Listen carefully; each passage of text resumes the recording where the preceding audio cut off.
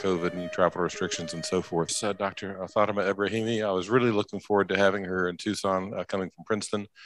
But uh, Dr. Uh, Ebrahimi, you got the floor. Uh, really, thank you, Stephen, and thank you for uh, inviting me to uh, talk about this technology. and um, I wish I was there and meeting you all. and uh, so I'm plasma physicist. Uh, so it's a little bit, we are switching a little bit different. Uh, plasma physicist from uh, Princeton Plasma Physics Laboratory and uh, um, and uh, Princeton University. And I will be talking about an original um, concept that I invented in 2017 about reconnecting plasmoid propulsion. Um, and just a little bit uh, clear the, um, if there is any confusion that I'm not affiliated with the uh, with the group that yesterday nicely presented. Uh, so for any kind of uh, deep space propulsion, uh, we know that the space and fuel efficiency is really uh, critical. And um, for this kind of high delta V um, um, any kind of mission, you really need high thrust electromagnetic propulsion with high exhaust velocity of tens to hundreds of kilometers per second. Um, and uh, so the question is that how would you, in realistically, how can we actually achieve that? How can we break the boundaries? And as we heard so many nice talks, how can we um, get to those kind of speeds that um, that we can actually um, go for um, for much deeper space um, propulsion system. And uh, next, please. Interesting. So the movie showed. it didn't show on my, my computer. So uh, for that kind of a speeds, actually, we don't need to go too far. And um, uh, we can look at our sun which uh, is actually uh, producing a lot of magnetic energy um, under the surface of sun um, because of the relative motions of the plasma motion, you will get a lot of magnetic energy buildup, which is not only magnetic energy. Interestingly, it's a lot of twisted magnetic field lines, linked magnetic field lines that are being generated in some zone of the sun called convective zone. And sun cannot handle that. You know, you have so much buildup of magnetic energy and wants to get rid of it. So, um, and this twisted mm, linkage of the field lines, we call it magnetic helicity, coming from helical. So this magnetic helicity wants to get rid of that buildup of what is making constantly. So how does it do that? That's by actually um, flares, you know, kind of finds a way to inject these um, these um, kind of magnetic helicity into the surface of the of the sun, and then to do the flares, the process we call magnetic reconnection, um, when these field lines come together, and then the whole magnetic energy is being converted to kinetic, mostly kinetic energy and other forms, and sun releases a lot of you know plasma and particles with a velocity of hundreds and thousands of kilometers per second. So, so, so this concept that I will talk today is exactly that. It's a controlled way, version of that, which is the combination of the um, injection of the magnetic helicity and the process of magnetic reconnection when we directly directly actually magnetic energy is being converted to kinetic energy. So it's a form of propulsion that for the first time you actually get kinetic energy that is that is being generated from directly from magnetic energy.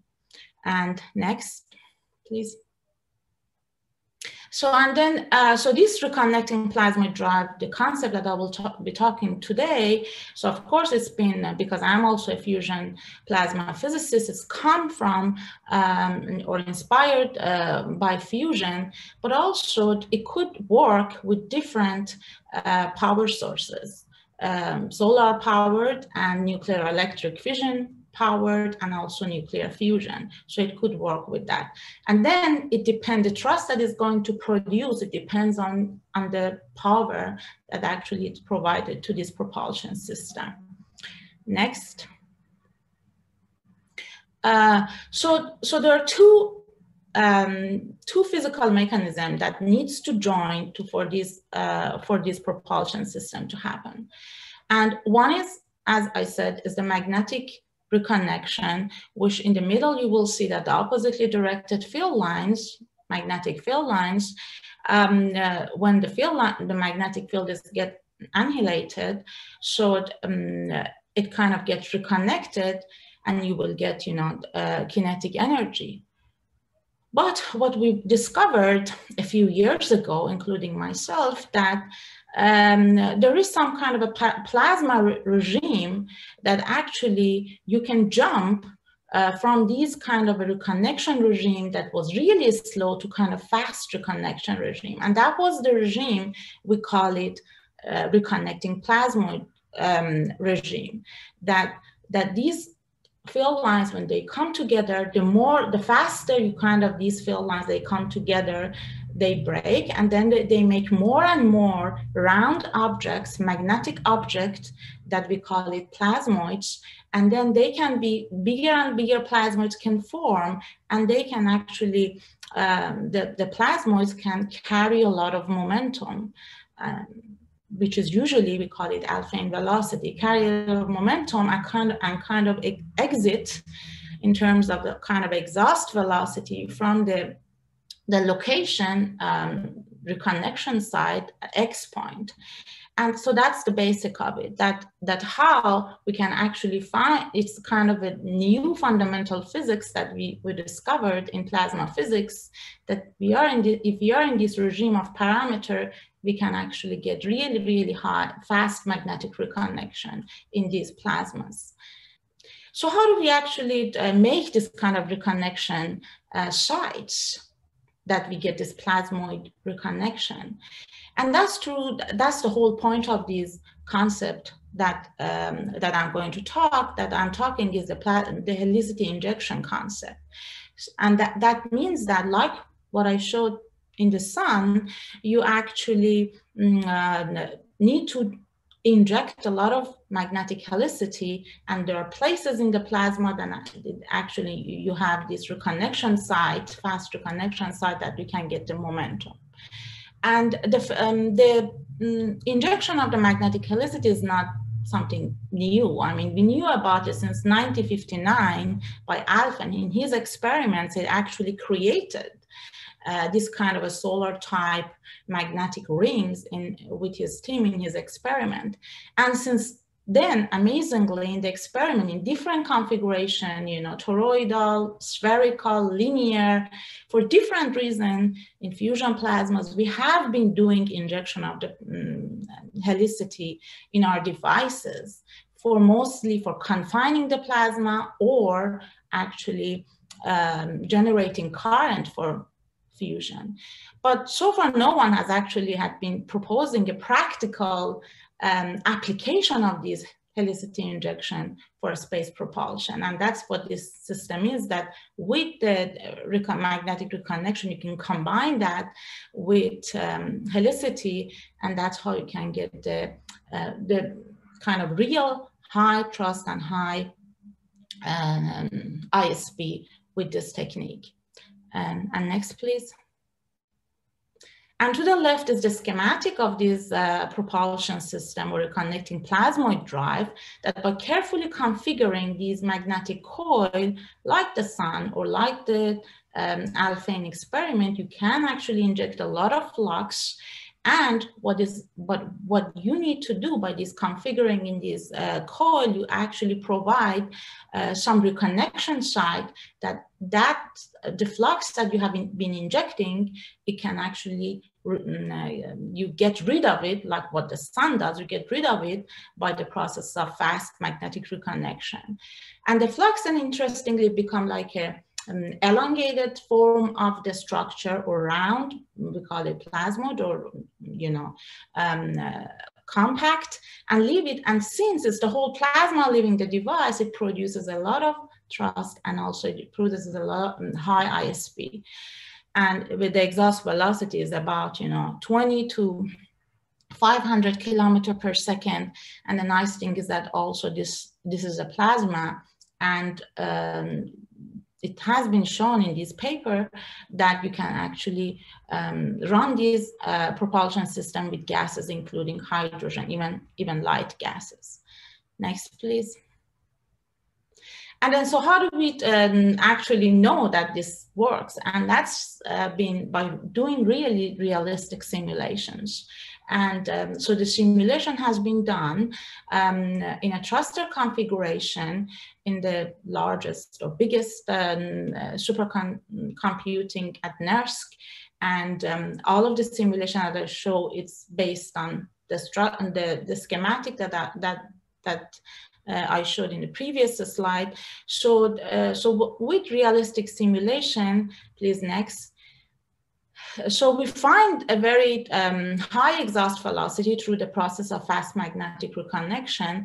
And there are two plots here are shown that shows that how important the uh, fast magnetic reconnection is for producing high ISP in this system. So to the left is just the conventional plasma accelerator like plasma guns, etc., that you will get some velocity. But to the right is when you actually combine it with fast magnetic reconnection and you get an order of magnitudes higher specific impulse. So you actually can achieve very high exhaust velocity. So it's only not injecting um, magnetic flux is not the only way you actually need to have both for this to happen. Um, next, please. And then here is also again more and more, you know, detail really in detail. You have we have explored this concept that does it depend on the model that we are actually simulating.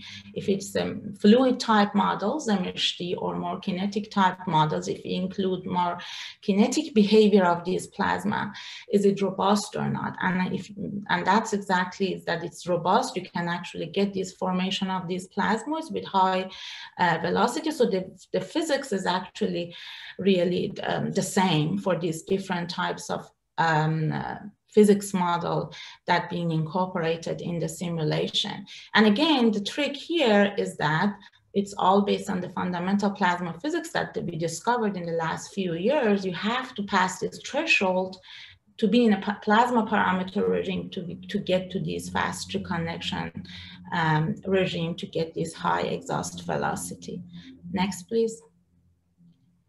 Um, and again, the cyclic behavior of this formation of these plasmoids are important. Usually some of these propulsion systems, they have this detachment problem, but here actually nature and the field lines, because of the process of magnetic connection, it detaches itself. So the detachment is not a problem. And you get this cyclic behavior, cyclic uh, formation of this form of, form of these plasmoids um, with, a period, with a periodicity. Um, and that's as long as you have this static electric field available. And, um, and of course, you can actually program your voltage and make it pulse. That's also an option. That's, that's I have studied in a few years before. Next. Uh, and then and then again, this is a mm, this is shows what we started with our sun, yes, and uh, uh, that it's from realistic simulation that um, you see these twisted field lines that generated in the real in in this 3D simulation momentum carrying um, structure plasmoids that are formed. So you provide, you need a specific uh, coil configuration that produces this um, momentum carrying a structure and leave the device, you, you know, leave the plates at X points with a high velocity, these plasmoids. And it's all twisted. So you, you actually, nature makes sun makes its own magnetic field, we provide it and convert it to kinetic energy through this process of magnetic reconnection. And next, please. Um, and it's definitely, this is really high, highly scalable. And this is not something that is projected. All of these points that it's seeing, the ISP is, um, is um, really uh, numerical points re from realistic simulation that you see that you can achieve higher speed and as long as you provide more and more magnetic field. So it scales nicely with magnetic field. And also the, the thrust calculation, which has been done in this paper also shows that it scales nicely with magnetic field. So the scalability of the um, higher mm, specific impulse and also the uh, thrust is really important and it scales nicely. And next, mm-hmm. please. The whole thing inspired again in an experiment that I was working, a fusion experiment. So, and we made these blobs or plasmoids through plasmoid reconnection. So this has this camera images to the right shows that we have the proof of principle and routinely we made that for creating a startup current in these experiments and the simulation predicted that. And there is a uh, image, but that's supposed to be in the paper um, uh, a few years ago, the, the, the, movie of how actually these structures lives and produce with high velocity of 20 to 30 kilometer per second is has been produced. And next, so and that's experimental. And again, where is it sitting, this concept? Uh, so we have the specific, you know, more, more powerful and higher speed, and the, the, the purple areas where, uh, where the propulsion system sits that it could have hundreds of newton. You could produce hundreds of newton given the power. Of course, it scales with power, and uh, we could have you could have higher specific impulse, um, and it's a complementary that you can achieve higher. And there is no limit to it. As I said, it's a scalable with magnetic field. Next. And then, uh, so the missions, so scalability is always come that you can actually go with short to long range space mission. Uh, so as I said, if it's low power, it could be solar. For low power missions, uh, solar mm, uh, powered, um, it could be nuclear electric and nuclear fusion. That's what's in my heart. That's what I want it happens. And, um, and there are different missions, for example, it's um, uh, you can go to the moons of the Jupiter and uh, if it's fusion powered, alpha is an important parameter here, with a payload uh, in a matter of few years. If it's fusion powered, of course, with a budget of 10 times larger, um, larger power, you can actually do it much shorter time. So different um, missions are possible. Next, please. Oh, and this is a summary, which, which is that the reconnecting plasma drive is highly scalable. And so it's the first time that actually we are saying that we can get um, a specific impulse directly from magnetic field through this process of um, providing the helicity and reconnecting fast plasmoid reconnection. And this compactness is really important because you don't want to be, have a complicated system, you know, with antennas of all the things carrying. So it's a simple components of it is important. And the fuel is also flexible propellant is important. And you can run with, you know, lighter um, gases and scalability, of course, and it's patent pending. So for uh, by Princeton University, if you want to license, you need to contact Princeton University and uh, and uh, one more thing, I'm getting that I should stop. That uh, so it's also so you can contact Princeton University, and this project is um, is grant funded right now, currently at PPPL, and there's a couple also grant pending, uh, but we recently, currently, we've been talking to private investors and please contact me for uh, making this happen in, for, in reality. And thank you really for your attention. And my email should be there, but sorry about it, last name at pppl.gov or last name at princeton.edu. Thanks a lot. And I'm happy to answer questions so a lot of the questions that I actually got were answered in the course of the um, rest of the talk. So can you comment on the experimental challenges with realizing the fast magnetic reconnection? Are there any engineering benefits uh, versus think, uh, other propulsion methods? Engineering benefit uh, is the uh, simplicity of it. The components that I show is it's we have done it in the experiments. We have the proof of principle and the compactness of it. Uh, the, uh, the the challenges is that Uh, it's been routinely done in the experiment, not for propulsion, of course, needs to be needs to be looked needs to be built. And um, I mean, challenges is that do we need to replace plates? You know, how often we need to replace them? You know, as you get you know these plasmoid formations but it's kind of the magnetic configuration and uh, it's electric and the electric field are all the fact that it's static is also important but you can also control it in a way we know how we have done these things a lot we know how to control plasmas through you know pulsing it and and all of that yeah all right. Uh, I think we're going to have to cut off questions there, but uh, we've got your email in case people have others. Dr. Ebrahimi, thank you so much for doing this. We appreciate it. And I wish I was there. Thanks a lot for the